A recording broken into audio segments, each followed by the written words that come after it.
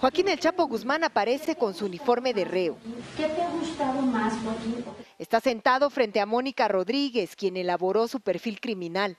Es la primera vez que se dan a conocer imágenes de las sesiones psicológicas del capo.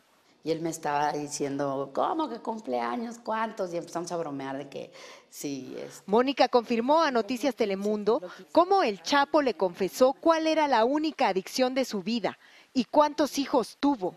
Entonces, dime, de verdad, ¿cuál es tu, tu, tu, tu adicción, Joaquín? Y me dice, pues las mujeres.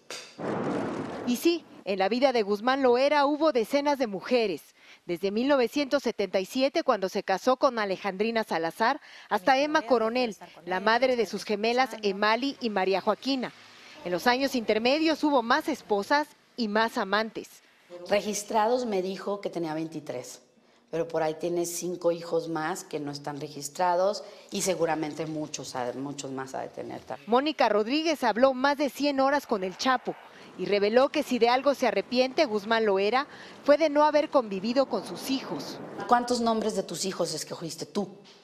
¿No? Y me decía, no, pues no, pues es que ninguno. Por un asunto de confidencialidad, esta criminóloga aseguró que no puede compartir todos los aspectos de la vida de Guzmán Loera. Sin embargo, nos compartió que dos mujeres muy importantes en la vida del Chapo fueron su abuela y su madre. Siempre pasa algo. Pero también llegó a sentir gran admiración por actrices como Kate del Castillo. Admiración y gusto que finalmente le costaron la libertad. En México, Isa Osorio, Noticias Telemundo.